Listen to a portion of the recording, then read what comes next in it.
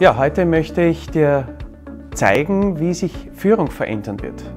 Die Welt rund um uns verändert sich gerade ziemlich dramatisch, äh, also wird sich auch Führung verändern. Und all diese äh, Führungskonzepte, die man früher mal hatte, Managementkonzepte, Management by Objectives und so weiter, werden jetzt ganz rasant ihre Wirkung verlieren. Wie geht es dann weiter? Und eine dieser Möglichkeiten, die ich aus meiner Erfahrung gesehen habe, ist äh, transformationale Führung. So kurz die Erklärung, was denn das ist.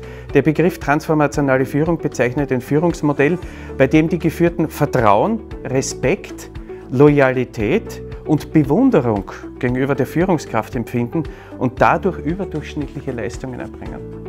Also es geht um die Extrameile. Gell? Und äh, da gibt es einige Zutaten, wie man das erreichen kann. Es geht um die Wirkung einer Führungskraft oder die Frage, die ich immer wieder stelle, bist du dir sicher, dass sie dir freiwillig folgen? Und die fünf Zutaten zu dieser transformationalen Führung sind äh, Inspiration. Diese Führungskräfte müssen irgendwie Inspiratoren sein, also irgendwie Motivation ermöglichen.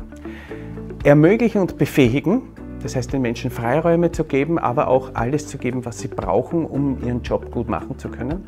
Herausfordern ist etwas ganz was Wichtiges. Visionär sein, also auch diese Kreativität des Denkens haben. Und die fünfte Zutat ist Vorbild sein, aber in einem ganz anderen Sinne, als wir es bisher gedacht haben.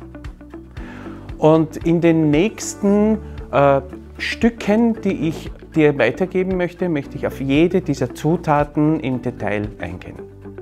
Und bis dahin wünsche ich dir alles Gute und viel Freude beim Thema Führung.